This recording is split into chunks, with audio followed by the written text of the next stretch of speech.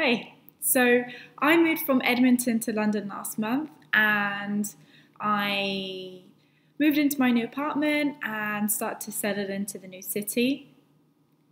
And one of the things that I really struggled with was paying my rent payments on time. I'd always write a check and then sometimes I'd I had to write the check and then go to my landlords to drop it off. So sometimes I would forget to take the check or lose the check or be late in getting the check to him or it was just I just kept forgetting and things just kept coming up.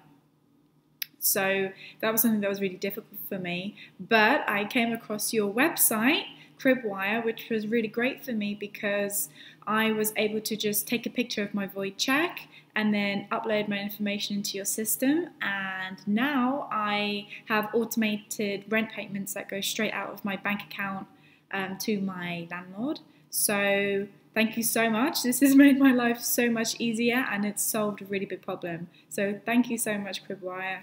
You're awesome.